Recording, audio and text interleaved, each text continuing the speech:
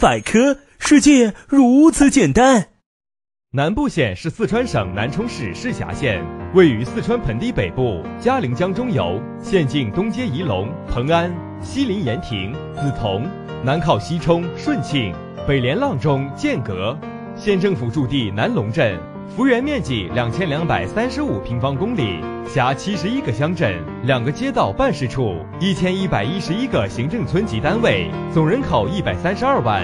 属亚热带湿润季风气候区，境内浅丘起伏，地势西北高东南低，海拔在二百九十八至八百二十六米之间。南部县历史悠久，人杰地灵。西汉严君平、张飞，唐代画圣吴道子、诗圣杜甫、大书法家颜真卿等名流都曾流寓于此。南部县已成为全国生态县、国家卫生县城、全国绿化模范县、国家生态建设示范县和全国创建文明小城镇示范县。